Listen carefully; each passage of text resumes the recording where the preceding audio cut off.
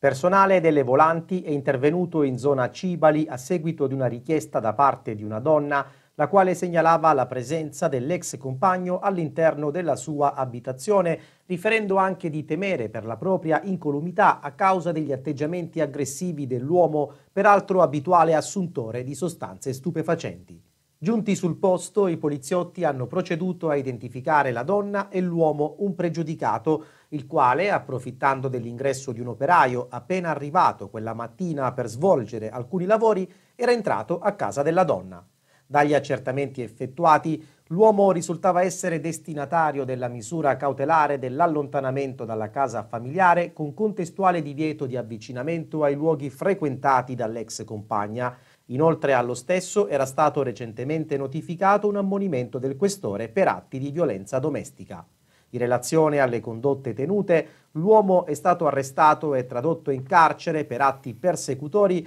e per la violazione delle prescrizioni imposte con le misure cui era sottoposto.